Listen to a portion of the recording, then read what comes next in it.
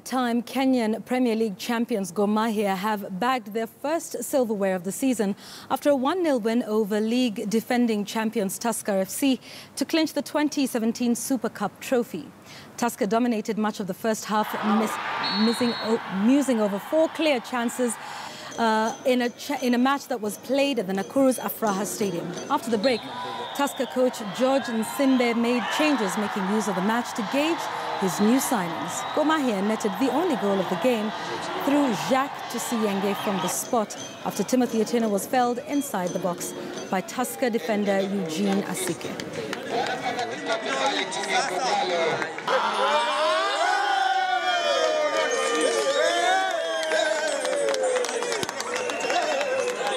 It was a good game good, uh, played well from the, both teams.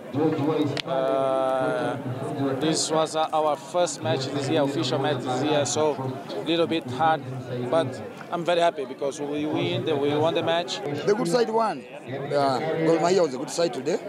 Yeah. At least they, they managed to independent and they scored it. For us, we got so many chances in the first half, and we did utilize, utilize them. But I think uh, it's a good side.